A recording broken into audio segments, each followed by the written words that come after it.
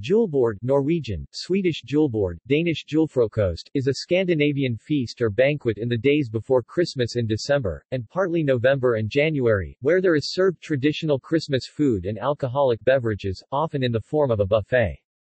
The julebord is organized by employers or organizations and others for the employees or members.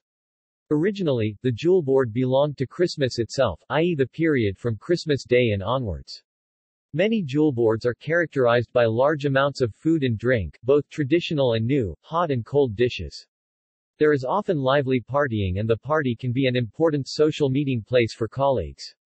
Julebords are a popular tradition that creates high season for the restaurant industry, the taxi industry and ferry companies Fjord Line, Stena Line, DFDS, Hurtigruten and Color Line during these months.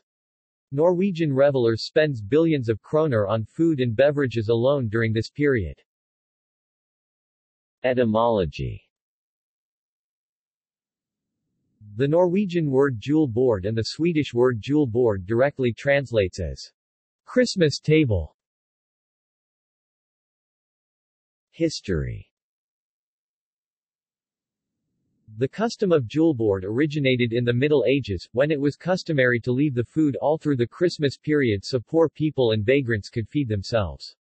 Before, it was also common to let the remains of the Christmas meal remain on the table or place it out in the yard on Christmas night in order to appease mythical creatures such as the trolls or the nissies which were widely believed to roam the forests. During the night, animals would eat the food, and upon seeing the missing food in the morning, the people would interpret this as the mythical creatures having eaten the food, thus becoming appeased. Traditional julebord cuisine Traditional Norwegian Christmas food is usually served at julebord events. These include, rice pudding, risengrynsgrøt, pork rib, rib, lamb or mutton, pinnekjøtt, spicy sausage, medisterpølse, and lutefisk. The meal is usually served along with sour cabbage, surkål, Brussels sprout and lingonberry jam. It is customary to drink a akvavit as an aperitif. See also